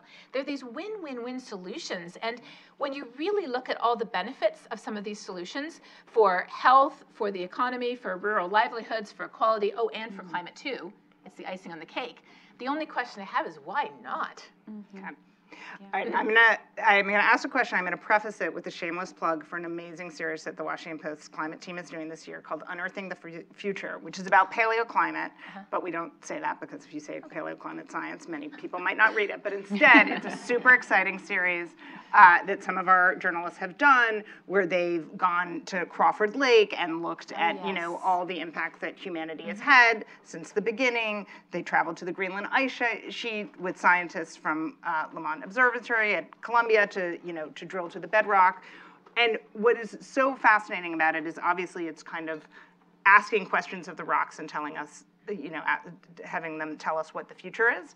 And I was wondering, Dr. Hayhoe, if you could talk about both what you feel like the climate models say with certainty and what's a big unanswered question that we have that right now we're really struggling to, you know, sort out so we can chart our future. I can. So, first of all, people are often asking me these days as a climate scientist are things changing faster than we expected? And the answer to that is actually when we look at global average temperature, no. Where we are today is exactly where scientists predicted we would be 50 years ago. Mm-hmm. Global average temperature is right on track. We really did warn you. Yeah, exactly. and when she says we, we're going back like Yeah. 150 years, like well Yeah. before our births. Yeah. But in terms of extremes, we have always known that we're underestimating the extremes because it's out at the tail of the distribution and things are happening that we haven't even seen before. So we always knew that we were underestimating the extremes, and we're seeing that in real time today in terms of, you know, with, with the terrible floods they had in Libya, there were seven other terrible floods around the world the same week. Mm-hmm. With the heat extremes, we had terrible heat extremes here, but they had massive heat waves during winter in South America at the same time. Mm-hmm. So that is where our projections have not really reached the full extent of what we're already seeing. Mm-hmm. But if you ask me what the greatest uncertainties are, there's two of them. One of them is what I alluded to before that we've never seen things changing this fast. We've never pushed the planet this fast. And so there are feedbacks in the climate system, vicious cycles, where if we heat the planet, the Arctic starts to thaw. If the Arctic starts to thaw, all the organic material that's frozen in the ground there starts to decompose. As it decomposes, what does it produce? It produces heat trapping gases, more of them. So the, the question of how's the planet going to respond to this massive kick we're giving it that is bigger than anything we can ever see is a very concerning question to climate scientists that does keep us up at night. But the second question, what's going to happen in the future? Mm-hmm. The answer to that has a lot more to do with us than it does with the planet. We're the ones driving this change, and the choices we make today and in the near future will literally set the course for our future. And, so the ones we make keeps me up. today are even more important than the ones we make tomorrow because like it will be a very different world in five years if we don't do everything we're supposed to do this year um, and are sort of like if, if you're thinking, do I take t- a two year sabbatical from climate action now? Or do I take a two year sabbatical in 10 years? Like, please take it later because the work that you do now um, will be much more transformational. I mean, take naps and whatever, but like, And uh, there you go. And breaks. Uh, keep it going. And actually, in the context of what you just said, you know, obviously in the internet and the global climate debate, we often talk about like targets and timetables, and you know, and one of the questions is, is that the right way to communicate climate change, mm-hmm. and or is there a different mm-hmm. language we should be using, or is that the most relevant given the time, the, you know, the time sensitivity you just talked It's about? so interesting because I feel like, well, one, I think there's no one right way to communicate about climate. Some mm-hmm. people will, you know, different messages will resonate with different audiences. So I think the more climate communication we have, almost the better. So mm-hmm. great that, you know, you've been doing this work for, in a very deep way for a long time, mm-hmm. but now, you know, every paper that of, of, you know, of note has a significant climate team, which is wonderful. And I think this sort of like timelines, deadlines, we all kind of like can relate to a deadline of like a homework assignment, right? Like this is a group project that we are failing. Like as the kid who like did all of the work for every group project, I have like a specific sort of anxiety that's like, oh, it's all on me again, you know.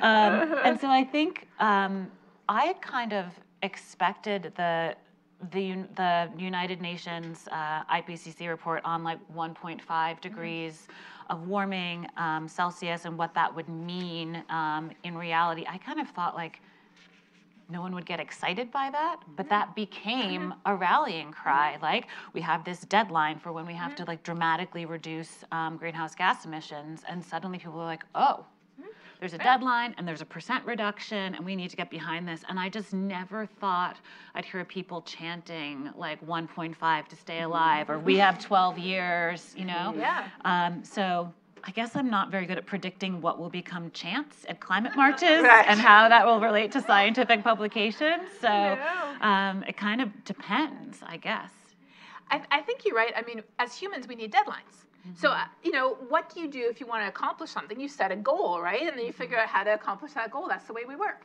But the challenge is, is that one and a half degrees is not a magic number. Mm-hmm. In other words, if we end up at 1.4999, it doesn't mean that we're fine. And if we end up at 1.5111, it doesn't mean it's all over. And so the danger I see, and I know that you see this too, is that people are, are investing too much in that. And what if we don't make one and a half? Well, you know what? That is a heck of a lot better than two. What if we actually make two? Well, you know what? We were headed for five 10 years ago. Mm-hmm. And then two is a lot better than five. And so the concern is that if we invest overly in these deadlines and we don't make them, then people are like, oh, well, it doesn't matter. And what that one and a half degree report from the IPCC actually concluded is very powerful. The conclusion of the whole report, comparing what a world would look like if we reached one and a half, if we reached two, or if we did nothing, was this. Every bit of warming matters. Every action matters. Every choice matters. That was the conclusion of the science. Well, this has been an illuminating conversation which has had more laughter than I would have predicted for a, serious climate science discussion. Yes. So thank you, Dr. Johnson. Thank you, Come Dr. hang out with us. We're for not this. awful. Exactly. um, uh, up next, we will hear from my colleague Frances Stead Sellers after this video.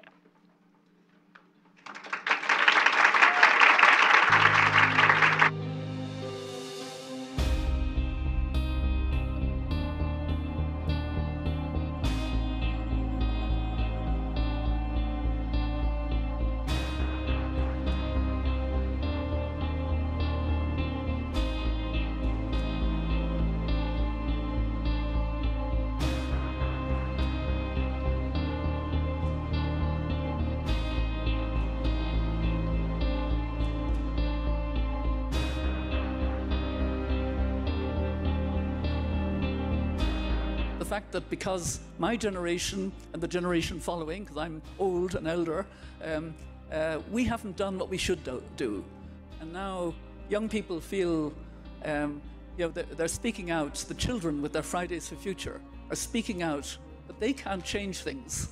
And yet they know, they've read the science, and they're championing it. And they're saying, you know, you have to take your responsibility because otherwise we're going to have an unlivable world. I've lost a 19 year old cousin, a 7 year old cousin, both my grandparents to polluted water, to greed and destruction.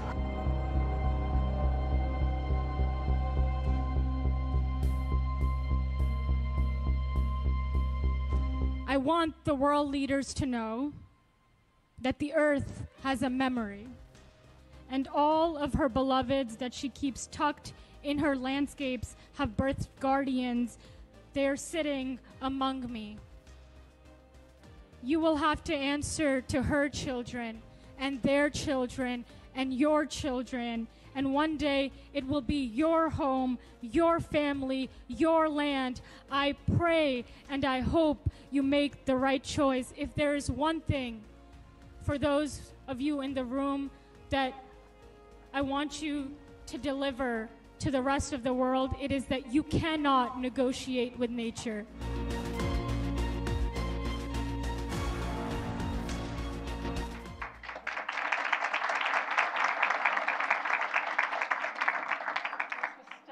words to start with.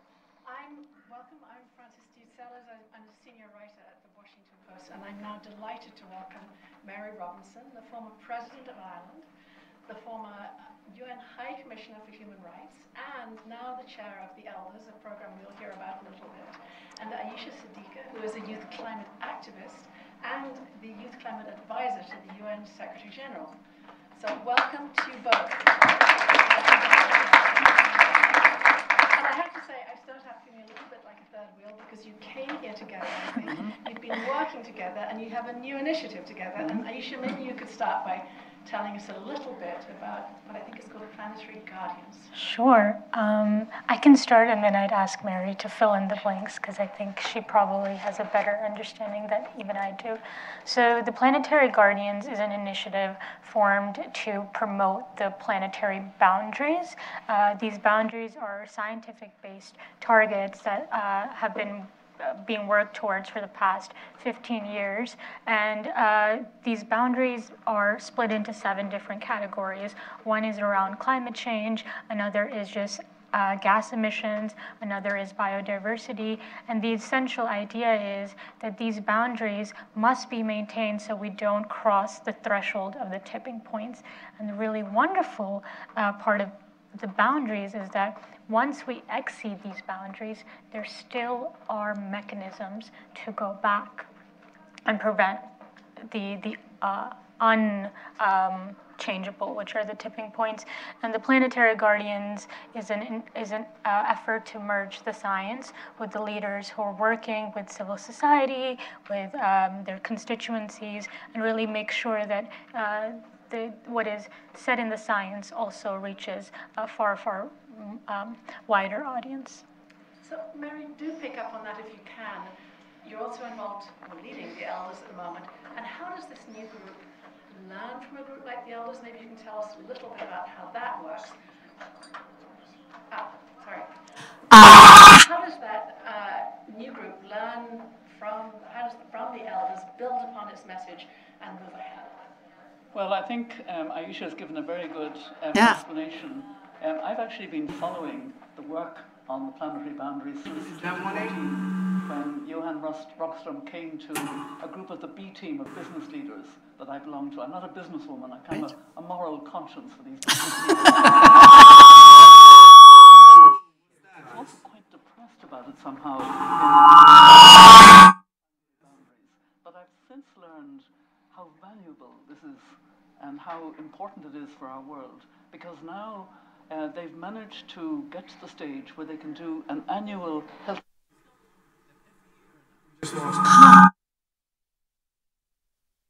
looked at the planetary boundaries. Um, the last time before um, the, the recent report released last week, um, uh, we had exceeded four of the nine planetary boundaries. Now we have exceeded six. So we are in, you know, a worrying stage with six of the planetary boundaries that keep our world in balance.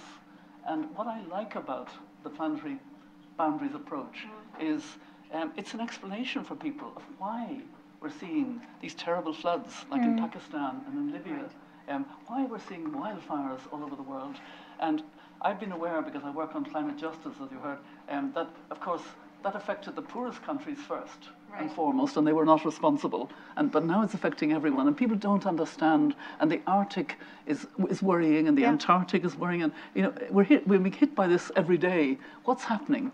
This explains the interconnectedness, right. and it means that we have to see ourselves as nature, not separate from nature. We are nature.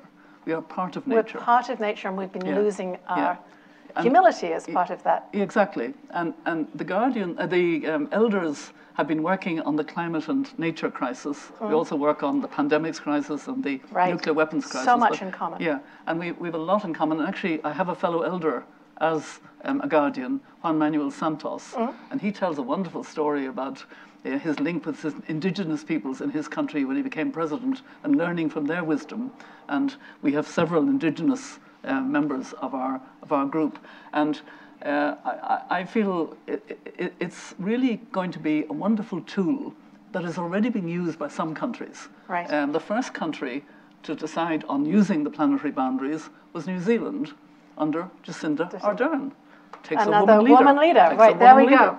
And then and then thank you. And then Finland and Sweden and the Netherlands. Right. And um, actually, I was very pleased. I'm, I'm, involved as chair of the elders in a working group on Ukraine, mm. looking at the terrible extent of the environmental damage, including the dam that was mm. exploded. Right. Um, the accountability for it, which of course is Russia, Putin, mm. and also how to build back green. You see the terrible destruction of this war. How to build How back to green. take back and we're going to use Okay. the planetary boundaries framework um, as a starting point. So, Aisha, you're 24. I hope you don't mind me telling everybody here that. But uh, You, moving, you need to mention my age. we'll leave that, or we'll, we'll whisper it. um, and now that we've said it, everybody's going to know it 40 years from now. we've been talking about worry. Your generation has had to embrace a sense of worry that I don't think either of us had when we were 24. Can you talk about that and what it means? Um, how I how I describe this worry is um, how many people in the room have experienced anxiety that they cannot explain, or depression that they Look cannot look explain. around the room. Yeah. Um, what modern day physics classifies as matter that cannot, uh, matter as energy cannot be uh, destroyed or uh, created is what we're feeling. And the analysis I have for that is um, as a species, we are destroying nature at such a mass speed. And we are harming nature at such a mass speed. This nature is matter, it has energy. And these random waves of anxiety is what we feel when a mother whale loses her child and she's calling out for help. Um, this anxiety that our children are experiencing, that the younger generation is experiencing, is because children are closer to the beginning of life. They're able to have a wisdom that allows them to connect to what is happening in the world around us. And that is why it is so nerve wracking, but that is why they're also petitioning for a truth. It is, um, it is so bluntly obvious. There mm. isn't any other solution. So, Mary, we hear those very, very powerful mm. words. In the time that you've been involved, and we saw the hand up over there cheering for women, women's leadership has changed dramatically. What do you think it means for addressing the kinds of vulnerabilities that, uh, uh with mothers and small Mm. children, mm. that Aisha is talking about? It's a very interesting question, and I'm very aware of the anxieties and the pressures on young leaders like Aisha. I was with Natasha Nakate at breakfast this morning with women leaders, and she spoke about, you know, her, you know, trying to create awareness, but also trying to put um, solar panels and clean cooking into schools in Uganda. No real support. Right. You know, and if you, you know, if you want to make an application, the, the paperwork you have to go through, and you know, it was it was really, uh, you know, very moving to, to listen to her. Um, women leaders need to step up now as never before. And the interesting thing is, Do you think uh, they're not? Um, they are, well, they, they have to st- um, s- step up on climate. Right, The okay. climate and nature What a- crisis. what and what we're finding is that um, there are very many women leaders who do extraordinary work Right. on health issues, on violence against women, on girls' education, Right. on Me Too issues, Yeah. all of that. But say, um, climate is not my thing. Mm. Actually, nobody can say that now. We're guardians of planetary boundaries. Climate is everyone's thing. We all actually need to become guardians and feel that connection with nature. And you know, uh, absolutely all of us. And women leaders um, lead in a different way, which the world needs. I'm, I'm very in favor. It's not excluding men. It's having that balance. Um, uh, you know, if you have um, a balanced cabinet. It's better for the country. It's better for the um, climate policies in that country. It's better for girls' education. Everything. Um, so, um, uh, what we need now is much more evidence of women um, understanding that we are in a crisis. As, as Greta Thunberg put it so well, our house is burning. So women need to step we in. have an audience here who agrees we're in a crisis, but Mm. not everybody does, Aisha. And you have to convey a message. How do you avoid being dismissed as, you know, the younger generation that gets caught up in, you know, protests and movements and is shrill and will kind of grow out of this? Um, it's the nature of the crisis. It- we're not going to grow out of it. It's just going to get worse. and we're going to get more activated. But what we're leaving uh, younger generations with is even more work. Um, but on your point of uh, there's people in the room who, agree, but then there's a uh, very large constituency that doesn't. And I think uh, to answer that question, we need to see wins. So in the United States, the Dakota Access Pipeline was shut down by conservative white ranchers and indigenous people who worked together because they understood that clean water and clean air and land is everybody's fundamental human right. And my, you know, when, when speaking to someone who doesn't agree with me, it's, it's as simple as this. If your tap water tomorrow started coming out dirty, and if you went to the grocery store and you did not have food, you would fight the people making your water dirty and taking your food as well. It's not just indigenous people. Mm-hmm. Our direct access to water is through our rivers. Mm-hmm. Is our direct access to our food is through our soil. That is why we can immediately see it. That's why we immediately are fighting for its protection. But in a developed country like this, and we saw it during the COVID pandemic, when people ran out of toilet paper, like it, eh, there were protests and like movement around it. Um, but it's you know it, the the the part about uh, a doomism culture mm-hmm. and the part about how uh, young people have this negative mindset uh, or, or it's insinuated that we have a negative mindset um, doomism comes for from a place of feeling like there is no way out mm. and when when someone like me is called a leader it's quite it's quite uh, destabilizing because for a long time I felt like myself and my peers were hand in hand walking in a dark cave with lanterns in our hand, but there was no light in front. There's nothing to see, and we have to carry that light and, and, and hope for the rest. But wouldn't it be so beautiful if we could pass it along, and so that future generations that are to come they They have a, the light. They have a light to, They have a to go towards. Whoops. Don't, are we okay? Yeah. Take care. Okay. that was very dramatic. And I dropped Never mind. Let's leave it Um, down there. I made my point. Powerfully. Mary, you, let's just leave, leave the bit. Okay. Um, policymaking and activism, you've seen both, and you, you hear that Hmm. incredibly powerful message about, you know, finding the hmm. light, seeing the light at the end of that tunnel. Which works better? Do they need to work together? How do you see those two things um, potentially working together to reach the hmm. light that Aisha's talking about? Well, the, the interesting thing is, we are on the cusp of a clean energy, healthier, safer climate world. We're on the cusp of it, but we're moving too slowly. And the science, the planetary boundaries are hurting, and they're Right. hurting seriously. And we need to move with much more urgency. We need a sense of crisis. And uh, you might notice that we're both wearing dandelions.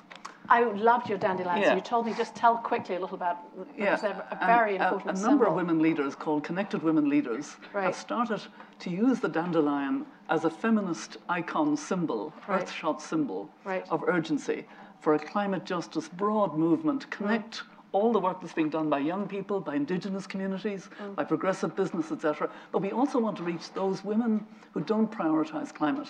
That Mm. climate is not my thing.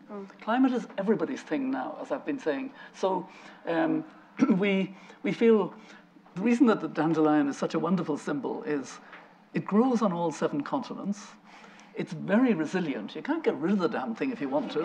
Um, it's very regenerative. It's got long roots. Um, you can eat every part of it or drink every part of it. You can have it in teas and in wine, etc. Um, uh, and even the roots take toxins out of the human body. So, uh, how do you spread it? It's a light touch connector. See, if we, um, the, the reason we're not moving quick enough is, Right. is twofold. One, it's the enormous communications on the dark side, as I call it, the fossil fuel side. Uh, four billion a year, muddying the science, prolonging fossil fuel indefinitely to fight poverty, all this kind of stuff, and paying lip service to clean energy, but not actually really investing. Um, so we need to switch out of what's harming us into that clean energy. But democracies find it difficult, and that's a point, a vital point I want to make because I know it. I know, for example, my own country, Ireland. Right. Um, we have good climate policy. We have a target of reducing by 51% our emissions by 2030. Despite lots of effort, we're only on course for 29% reduction, but we're doing a lot better than the United States.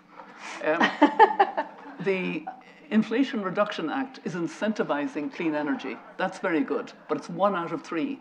You are not cutting your emissions here in the United States. Um, you are actually extending. And, Right. sec- and secondly, you're not giving the climate finance you should be to the poorest countries to help them to develop. So I have a question for Aisha about that, Yes. and, and that is the kind of all or nothing approach that we hear among climate activists. The Inflation Reduction Act Mm. wasn't all it could be, but it was Mm. arguably better than nothing. How do you address that, that notion out there that, uh, and we heard some of it yesterday from the streets of New York, we need everything now. Mm. How do we get there? Um, so the nuclear bomb was developed in a matter of four years j- in, with, the, with the Manhattan Project, when the United States felt and, and Europe felt the urgency from Russia to develop a weapon of such mass destruction. It's possible. If we really think of this as a crisis, it's possible to get our act together. Now, I do want to mention that we do have planetary boundaries that we can recede back from, but we have six years before we reach 1.5 degrees Celsius.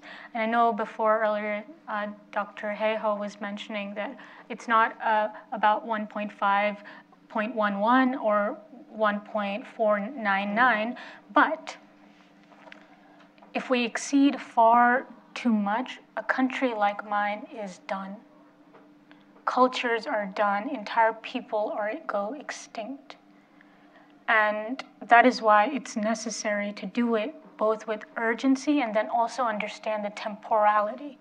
Because we are only here for a limited period of time. The, we are leaving a planet uh, that is going to be uninhabitable for generations to come after us. And last point, I was uh, heavily involved in the march yesterday in the organizing, I. Yep. in the organizing of it. This is the first time that in the United States, citizens came together and said it's the end of fossil fuels. Before 10 years ago, policymakers were afraid to even say the word. You know, the Paris Climate Agreement, and I know um, President Robinson was there for, for a lot of the developments of these things, they don't even have the words oil, Mm-hmm. gas, or fossil fuel in international policy. So to, to, to really solve this crisis, we need to be honest. And at the policy level, we're not being honest. So the political level also, uh, there's huge partisanship around this Hmm. topic, particularly in this country. Is there anywhere else like it in the world, Mary, where I don't know, think there's any other country where um, the divide is so bad, and it's kind of really um, uh, getting worse. Uh, because it's uh, it, it's becoming s- tied in with other political divides. Um, you know, um, it, it, it's worrying to see um, you know, what, what is happening um, in uh, what should be bringing us together. And that's why, in many ways, um, uh, I think we can look to women leaders. I mean, Katharine Hayhoe, whom I know very well, is doing great work in Texas. Um, you know, um, talking to people um, who Reaching out to reaching groups who- out to groups who don't want to talk about climate, but see but see a reality, right. see the flooding, see the storms, see the and, and the cost. You know, we, we need to talk more about the cost of not paying attention to climate, and especially the human cost, Mm. the cost in deaths, the cost in disease, the cost in health, even the cost of the air pollution of fossil fuels, seven million a year, um, dying prematurely because of that. Um, so uh, we need to, you know, the, the, the way of talking about it is, you know, factor in the externalities. Um, and uh, more than anything else, we need the kind of voice that Aisha's um, expressing here to the political leaders to get that sense of urgency. That's what we need. It's the urgency of now. And unless we can gather our strengths, um, make more visible all the efforts that are being made at local level um, to um, make communities resilient. You know, I hear all the time wonderful stories. That's all underfunded. Yeah. And we need to shift the funding to pay more um, for what women and young people, and particularly indigenous communities, are doing to help to protect the forests, to save the land, to you know, to make the communities resilient, etc. And um, we need to bring that voice of urgency to democratic leaders to take the hard decisions now. Um, there are actually some of them going backwards. The G20 was weaker this year than last year. The stocktake about the conference on climate showed that although all countries are supposed to make their efforts under their nationally determined contributions, none of them have made enough effort, and the most responsible are the worst almost. Which brings me to a last question. We've heard from extraordinary women all afternoon, and you two also re- represent leadership for your own generations. So, Mary, if you have a message for the women of Aisha's generation in a sentence or two to meet the challenges we've been talking about all day, what would it be? I'm really impressed in a lot of intergenerational conversation, which I've also had with Aisha um, this afternoon, uh, at the knowledge and the um, awareness and the social connections of young people. The problem is they're not getting the support. Um, so, um, you know, I think we need to support much more, not say, oh, I'm so impressed by these young leaders. Um, Right. words like that aren't, aren't enough. And Um, it's actual support that's needed. What do you need? The same question, but what do you need from Mary's generation that can help you forge ahead in this huge challenge? The funding exists to solve the climate crisis. The resources exist to solve the climate crisis. And from Mary as an individual, I, I am not the arbitrator on this, but she is fulfilling her responsibility. It's not, and, and, you know, I don't even blame my parents in particular because they did not cause the climate crisis. I come from a very rural community in Pakistan. But it's not just Mary's generation or just elder generations. The elder generations need to put pressure on businesses and governments. See, with the climate crisis, there are people causing it who have names and addresses, and we need to be brave enough to call them out. We need to be brave enough to call them out. Thank you, Aisha Siddiqa and Mary Robinson, for such powerful, powerful conversations this afternoon.